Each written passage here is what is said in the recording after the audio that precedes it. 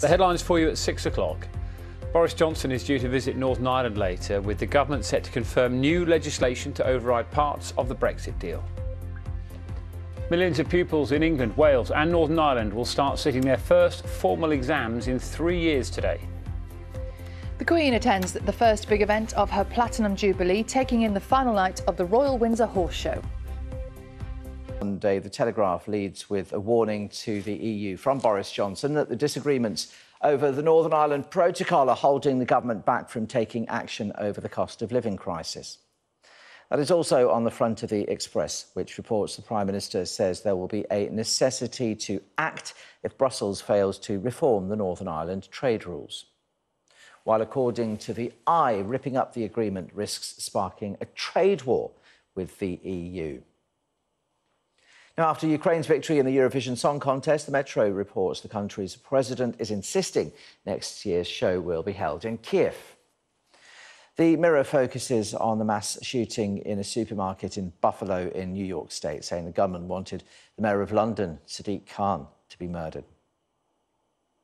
The Guardian has news of a row between police leaders and the Home Secretary over what is described as a power grab to allow her to intervene in local matters and silence criticism from forces. There's another police story in the Times, a warning from the new Chief Inspector of Constabulary that forces need to refocus on driving down crime rather than acting as the thought police.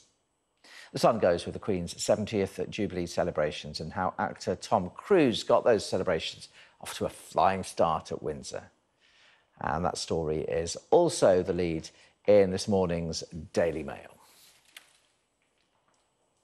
Now, if you want to see any of those front pages again, or in fact read the stories, then do scan the QR code on your screen. Let's have a look at some of the papers for you this morning. Um, they're going to start with the Belfast Telegraph. They've got an exclusive message from the Prime Minister today. This is before his visit to Northern Ireland.